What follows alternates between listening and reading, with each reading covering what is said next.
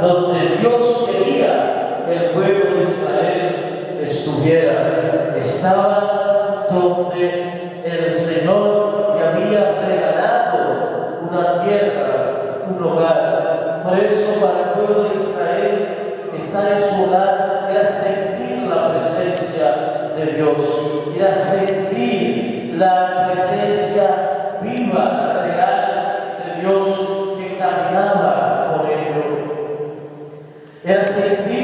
ese Dios que había llamado a Abraham, ese Dios que había llamado y caminado con los patriarcas, seguía caminando con ellos, seguía llamándole, seguía guiándole.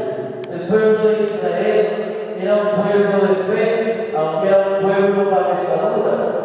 Era un pueblo que tenía fe, pero era un pueblo que tenía también un corazón duro, un corazón, y diría el profeta, un corazón de piedra. Y por más que el Señor demostraba siempre el pueblo de Israel terminaba dándole la espalda a Dios, pero sabían reconocer cuando Dios se manifestaba. Y ahí está la grandeza del pueblo de Israel.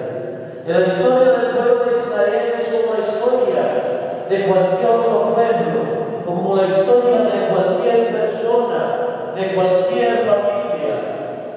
Solamente el pueblo de Israel, en medio de una cultura politeísta, supo decir, esa es la mano de Dios que está obrando.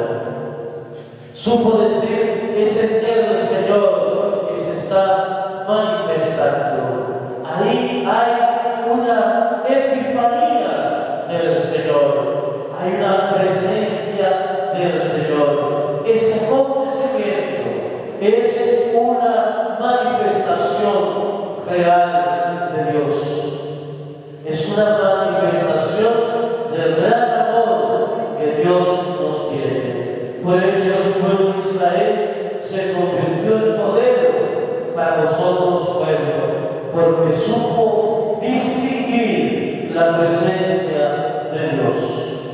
Y ese Dios que se manifiesta con amor, con ternura, con devoción.